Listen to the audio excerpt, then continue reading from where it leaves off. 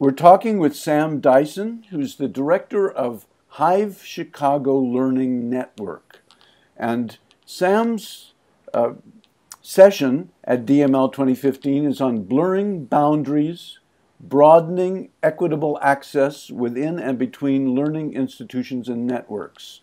Sam, tell us, tell us about that. What's exciting about the, this theme?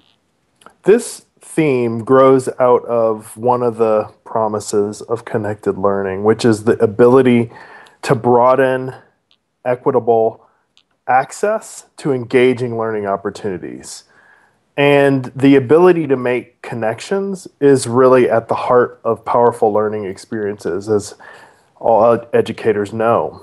Uh, and the outcomes of those experiences can really be transformative for kids giving more kids that irrepressible desire to keep growing. So, at a basic level, this work and uh, the proposals invited in the theme are really driven by that desire to provide kids with more connected learning experiences. We know that um, for many young people, their uh, lives of learning live in separate domains. There's an academic life of learning, an interest driven life of learning, and a peer supported life of learning.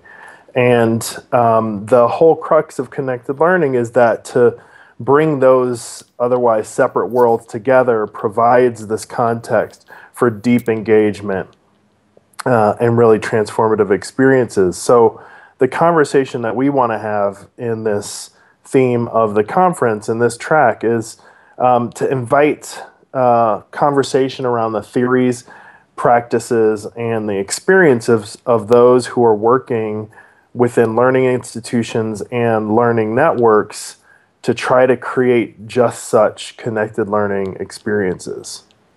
So, Hive Chicago Learning Network is an example of the kind of boundary blurring and network connecting you're talking about. Can you tell us a little bit about what's what's going on with with Hive Chicago right now in that context?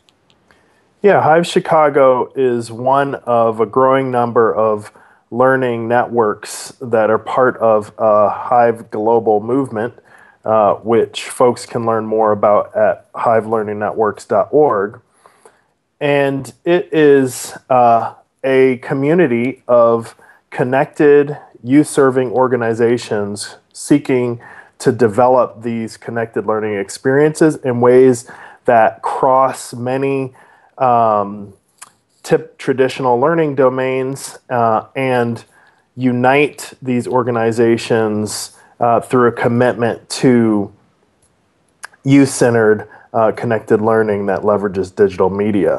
Uh, so, a learning network is a context which by design is intended to create equitable access for young people. And we'd love to hear from the growing number of learning networks and um, those seeking to become Hive learning networks about the uh, challenges and successes of, of blurring boundaries between the institutions that make up these networks. But we also realize that there are many organizations that exist beyond the context of these networks.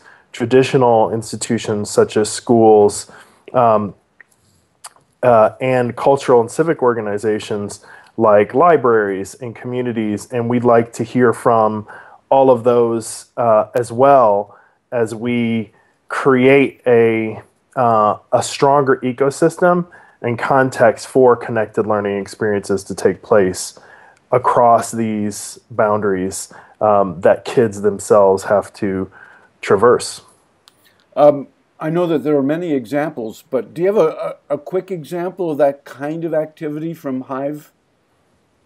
Yeah, so um, one is a Hive funded project in Chicago that's weaving together uh, the learning experiences across STEM learning organizations, museums, programs, uh, and uh, those within the network in Chicago and reaching out to networks beyond, um, making contact with uh, Hive NYC and the um, growing Hive community in the Bay Area to try to provide a connected context where between these museums, young people can have the opportunity to learn and receive digital badges for their learning in ways that connect um, to a, a shared system of what sort of learning is valued across those different institutions, making a connected context um, that kids might not initially be aware of, but that can lead to learning pathways